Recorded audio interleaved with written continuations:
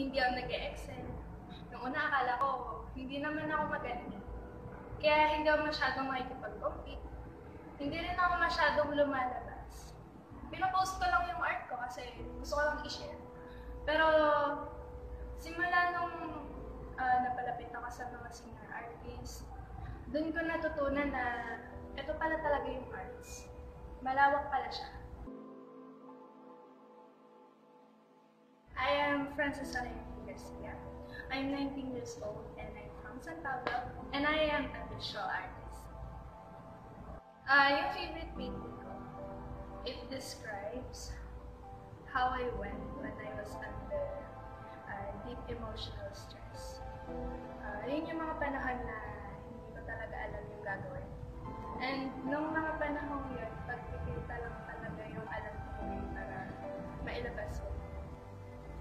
Art kasi walang pangit eh.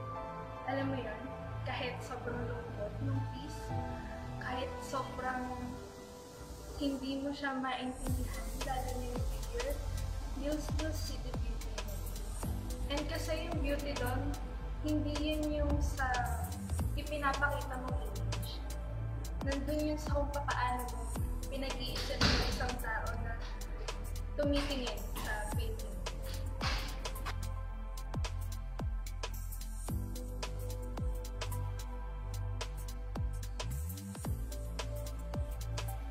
Ang genre na hilig ko para sa pagpipinta ay yung mga tipo na hindi talaga accepted sa society.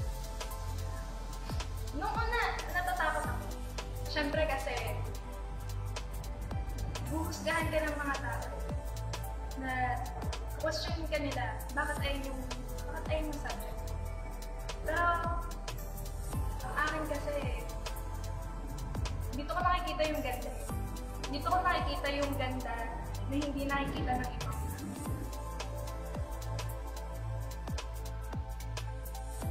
Just keep on going. Nandyan talaga yung time na iiyak ka.